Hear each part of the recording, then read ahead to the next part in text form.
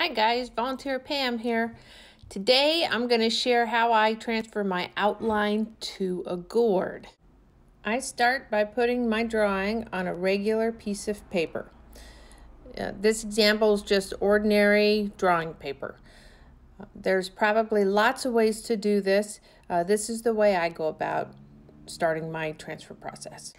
Okay, here's my secret. Once the outline is done, I use transfer paper. And I found out that transfer paper comes in lots and lots of colors. So no matter what the background I'm using, I can find a color that will transfer. So this is just like old-fashioned carbon paper, except it comes in colors. And carbon paper works too if you have a light enough background.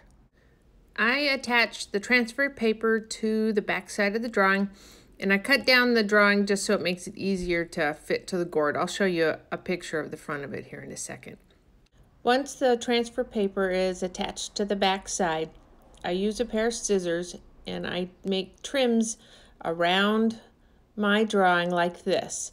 And I try to trim it so that the um, cut marks will line up to where a fold um, is okay in the transfer because you're transferring something flat to a round gourd, it won't transfer exactly flat. It's going to have folds in it. So that's what this is for.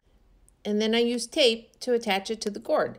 And you can see how it's has folds in it, but what I've done is give it places to fold where the fold won't really mess up the drawing. So that way you still get an animal that has uh, the right shape once it's on the gourd. And then transfer the drawing. So this is the same technique as using carbon paper. Um, I use a little stylus that looks like this. It's got a little ball round end on it.